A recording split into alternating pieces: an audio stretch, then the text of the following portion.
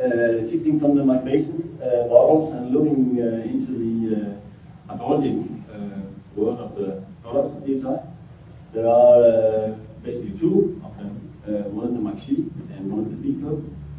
And they serve different purposes, you can say.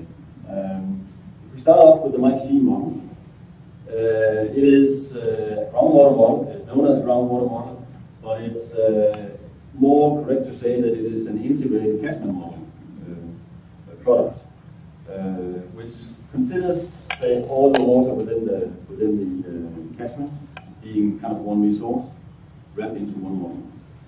Uh, the MIKE SHE model contains, as can be seen from the sketch here, a number of, uh, of processes, a large number of processes.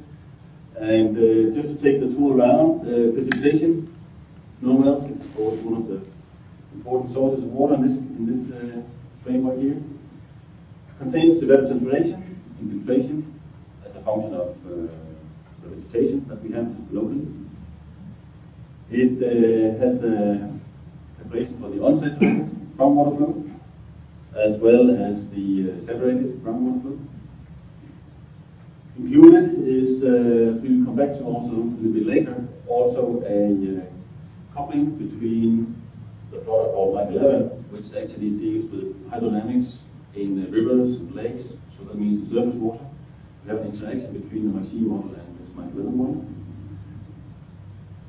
Flooding, surface flow can be taken into account, sheet flow uh, into MIKE SHE as well from the surface. And uh, irrigation, if there's an issue within the particular model area that you're working with, you can define your demands and it can be implemented within the model. On top of that, it contains also uh, water quality, where we can describe different water quality processes within the different uh, areas or the different uh, features of the model. So, kind of the same picture, but just in a different, uh, in a different way schematized here. All the different processes which actually contained within MIKE SHE, uh, you have as a user the possibility to say some processes are, are maybe more important than others in particular type of projects. So you can actually go in my MIKE SHE for the different processes that are there to say some of the descriptions I need a very uh, high level, uh, say, uh, mathematical based description, very, very thorough, or some of the other product, uh, sorry, some of the other features you may say, this could do with a less accurate maybe description. Simple methods, simple method has the benefits typically that it maybe needs less data, but indeed also that they are typically generally faster to simulate. So it could be a, matter of also optimizing the sort of overall performance of your model simulations when we're running a, a machine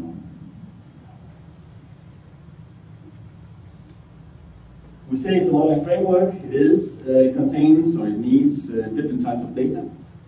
Uh, you can supply GIS data, map data of different kinds, gridded data. It is a spatial distributed data that is required to with the different uh, parameter descriptions in MIKE SHE. Uh, time series for all the parameters that go into uh, into the modeling framework. The link up with databases, so some of the parameter descriptions, parameter values that you may have in other programs or other databases can be sort of connected into uh, into MIKE SHE. As said, uh, we are coupling the Mike 11 model. We'll come back to that in slightly more detail what that is, but we're coupling that on top of the MIKE SHE model. And uh, we actually do have also a possibility to couple the model which is called MOUSE. It stands for Modeling of Urban Sewers.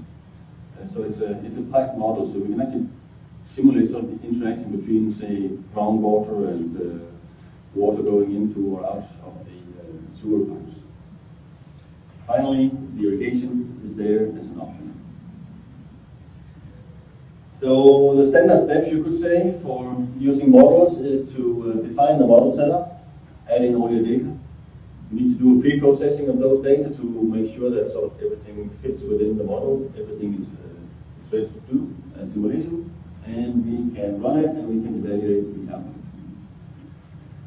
Output from MIKE SHE will be many different things, of course, as we do have all these different type of processes. involved. So uh, going from stream hydrograph, different type of uh, time series plots, map plots of the different uh, components within the model, groundwater, surface water, flooding, whatever. And uh, at the end, it gives us also a complete uh, water balance to just know where we have the water, how much water came into the different components of, uh, of the model framework.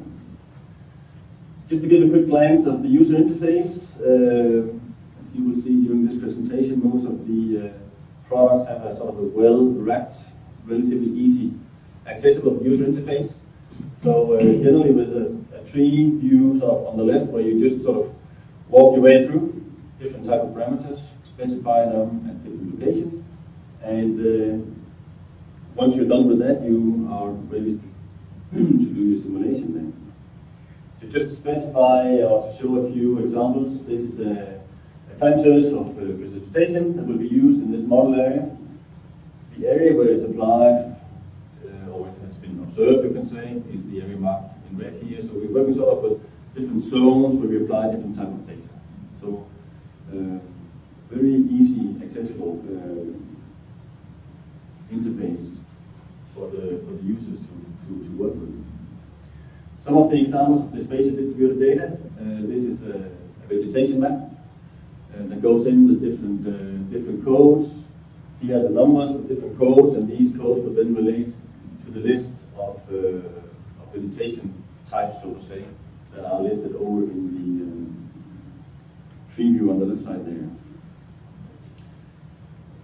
Inside MIKE SHE, we can do the processing based on the uh, catchment boundaries. We process what uh, all the different type of data that goes in, and at the end, just before the simulation, we do have data that are, say, limited to just an area that we actually model.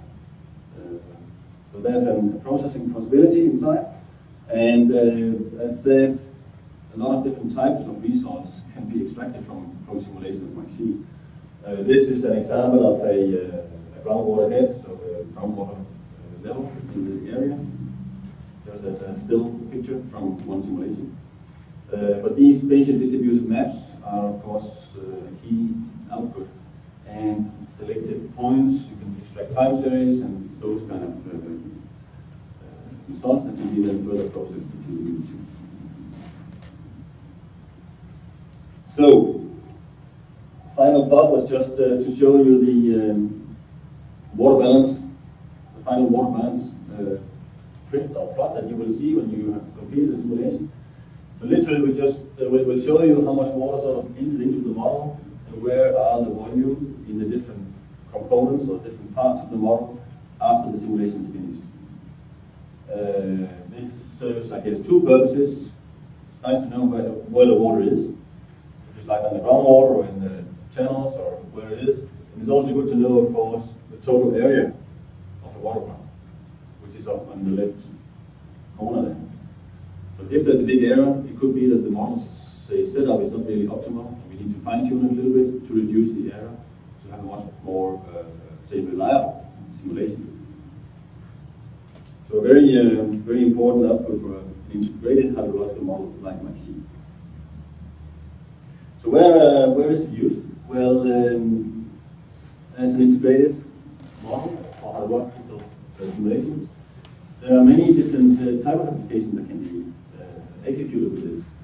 Wetlands is obvious, uh, different uh, climate change impact scenarios, uh, drought, flood planning could be one of them, environmental river flows also. But basically, what most of these products, projects are about is to, to know where the water is, right? How much water we have available, where is the water resources, uh, within our entire. It's on the surface, it's down the groundwater part, where is it? So just to show just one example, uh, the Okavango Delta in the Botswana. my MIKE SHE has been applied as part of this project where, as we know, it's a very, very, very big area. Uh, so the flooded area expands from, as it says here, 9 to 16,000 square kilometers very big difference from drought to flood conditions. And uh, wildlife, of course, moves in response to that. The purpose of this project that, uh, that we were part of was to to uh, ensure a long-term conservation of the delta. And uh, team was a key element in that to, to assess where is the water and how can we sort of maintain it for longer periods. And uh, different scenarios were simulated and just to pick up one many results here, uh, just a plot to say, talking about scenarios, we're comparing what if we do this compared to what if we're doing that. So this shows uh, a change in, uh, flood levels if we sort of change how we maintain the delta, so to say.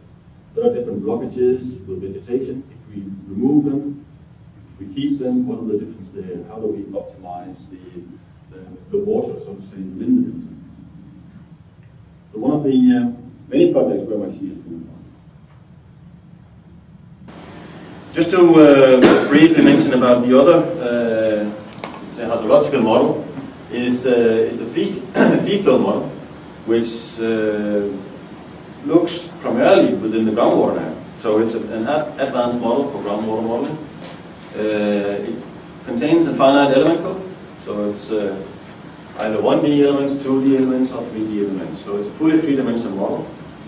And uh, there are also horizontal and vertical and also axisymmetrical uh, simulations. FEFLOW does flow simulations and it does transport simulations. So flow, mass, and in particular heat transport is one of the very, very um, those type of projects have been uh, very much used, uh, applied with MIKE SHE for, for a longer period of time. Multi-species transport, density flow, and uh, variably, maybe saturated, unsaturated uh, flow conditions within the groundwater uh, zones. So as such, it's a very advanced model. It has also a, an advanced user interface, but still relatively easy accessible. Does parallel processing, uh, processing and uh, the interface is kind of open so that you have the possibility again to do bits and pieces yourself and plug that into the, uh, into the program. Like MIKE SHE, uh, we have a possibility to link FEFLOW also with MIKE 11, so we can actually take in the stream flow in, in relatively large detail on the surface and then couple that to the, uh, to the groundwater computations done with FEFLOW. so, advanced groundwater modeling, there are a lot of different types of applications uh, dealing with groundwater, different problems, different uh, interesting aspects in groundwater. But you can say basically, if we look at this again, now in comparison with MIKE SHE, we're looking at all the water within the catchment. In FEFLOW, we are mainly concerned with the groundwater. Where is it? Where do we go? What quality does it have? Etc. etc. So there's a kind of a difference between how to apply or when to apply the MIKE SHE package compared to when to apply the FEFLOW package. As they both concern uh, groundwater, you can say. It's good to know this. Just a few plots here on uh, from the FEFLOW models. You can do very large-scale regional models, of course, but uh, also we can go into very, very detailed simulations looking at very special uh, features. In this case, uh, an underground uh, structure uh, for liquid gas containing. So here's where the, the flexible mesh, the unstructured mesh of FEFLOW really has its benefit you can say going from very big cells, we zoom in to the structure that we are dealing with here and we try to build up. And we have elements that are very, small because we need a very fine flow resolution around the structure. But then again, further outside, a bit away from the structure, we can deal with larger elements. And this is where the model is really, really strong because we have this flexibility. And this is how it looks from above. So the variability in, uh, in the grid uh, resolution is an important feature. As said in the beginning, idea is to give a relatively brief overview, and uh, so that concludes the uh, hydrological part of the survey.